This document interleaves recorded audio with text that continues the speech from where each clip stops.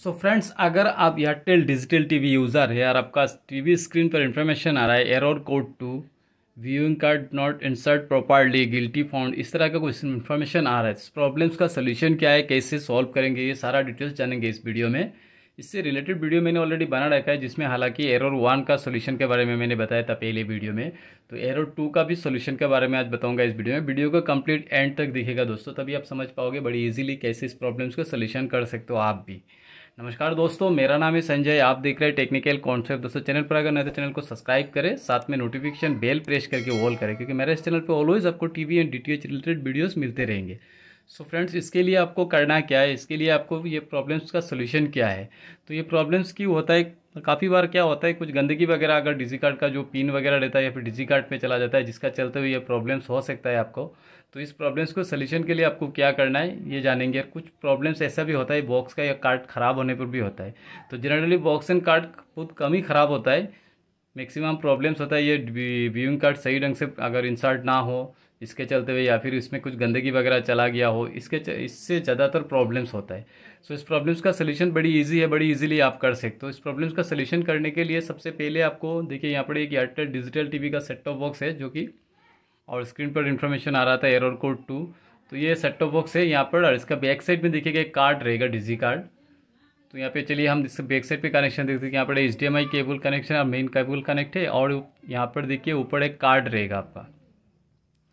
तो यहाँ पर देखिएगा एक कार्ड व्यूइंग कार्ड है तो इसे आपको निकाल लेना है। बट बट इससे पहले अब एक काम करें टीवी एंड सेट बॉक्स दोनों को पावर मेन पावर से ऑफ़ कर दे। इसके बाद इस कार्ड को रिमूव करें यहाँ से, निकाल लें।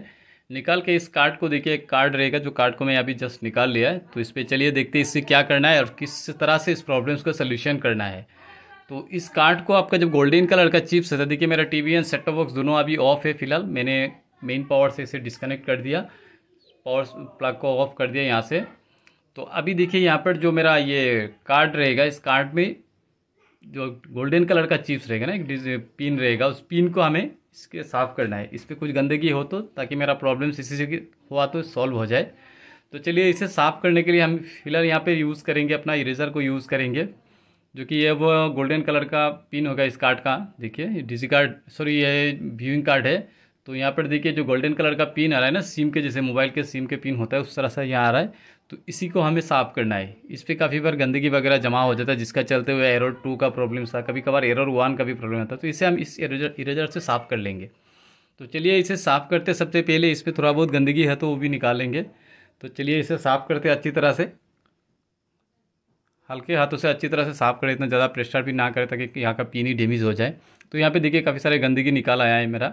तो इसे मुझे यहाँ से निकाल लेना है। देखिए, ये सारे गंदगी यहाँ से निकल जाएगा मेरा। इसके बाद मैं इस पिन, इस कार्ड को दोबारा इंसर्ट करूँगा सेटअप बॉक्स के अंदर। तो चलिए हम इसे सेटअप बॉक्स के अंदर दोबारा इंसर्ट कर देते। तो यहाँ से सेटअप बॉक्स के अंदर दोबारा इसे इंसर्ट करें इस तरह से। देखिए, यहाँ पर जो ये गैप्स है ना, ये कार्ड एंटर करने वाला ऑप्शन है वहाँ पर हम इसे डाल देंगे। और ये प्रोसेस करते वक्त T V and setup box दोनों को ऑफ़ रखें। तो इसे थोड़ा और इसे थोड़ा कुछ इस तरह से, हल्का से एक प्रेस करें, इस तरह से एक प्रेस करके डालें। बड़ा आप सेट करने के बाद भी आपका एरर टू का प्रॉब्लम्स आ सकता है। इस प्रेस करने से क्या होगा? आपका जो पिन में अगर अंदर में कुछ गंदगी है, वो निकाल जाएगा। चलिए हम T V and setup box दोनों को आप ऑन कर देते हैं यहाँ से। देखिए मेरा सेटअप बॉक्स यहाँ से ऑन हो रहा है। ऑन होने के बाद अभी आगे देखेंगे इसका। रिज़ल्ट मुझे क्या मिला यहाँ पर देखेंगे। तो ये प्रॉब्लम सोल्यूशन हुआ कि नहीं? तो मेरा set top box and TV को दोनों को मैंने ऑन कर दिया। अब यहाँ से टीवी ऑन होने में कुछ टाइम लेता है, जैसे कि हालाँकि आपको पता है एयरटेल डिजिटली भी अगर आप यूज़ कर रहे हो TV and set top box को ऑन करने के बाद कुछ सेकंड का टाइम लगता है, हालाँकि ये कम्प्लीटली ऑन है वर्क करने के लिए। तो यहाँ से देखिए मेरा टीवी स्क्रीन पर जो इसका लोगो आ चुका है एयरटेल डिजिटल टी का, अब यहाँ से आगे इस पर चैनल्स आएँगे मेरा। अब देखिए यहाँ से मेरा बिल्कुल सही चल रहा है। एयरो टू वाला जो प्रॉब्लम था ये प्रॉब्लम सॉल्व हो गया। सो दोस्तों, मेरे वीडियो अगर आप लोग को अच्छा लगता है तो वीडियो का एक लाइक करें और चैनल पर नया तो चैनल को सब्सक्राइब करें।